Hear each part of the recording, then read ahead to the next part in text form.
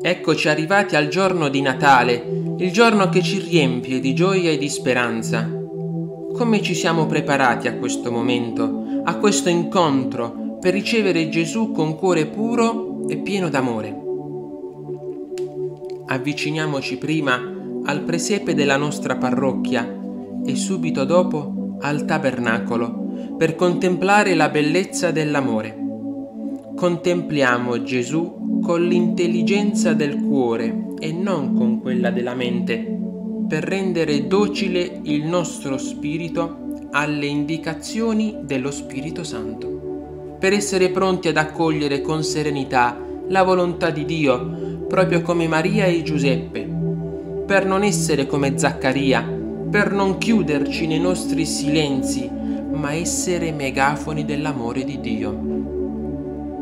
L'esempio dei pastori e dei saggi, così come custoditi in questa pagina di Vangelo, ci mostra che è nella semplicità del cuore che troviamo Dio. Scrivendo sulla sapienza del cuore, Antoine de Saint-Exupéry ha scritto non si vede bene che con il cuore. L'essenziale è invisibile agli occhi.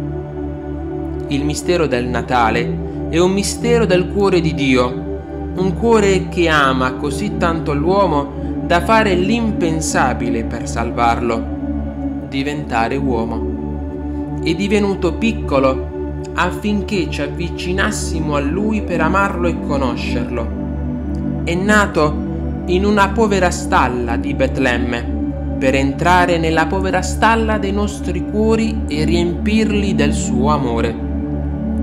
Le apparenze nascondevano la presenza di Dio a tutti, tranne a quelli che, come i pastori e i magi, lo cercavano con tutto il cuore.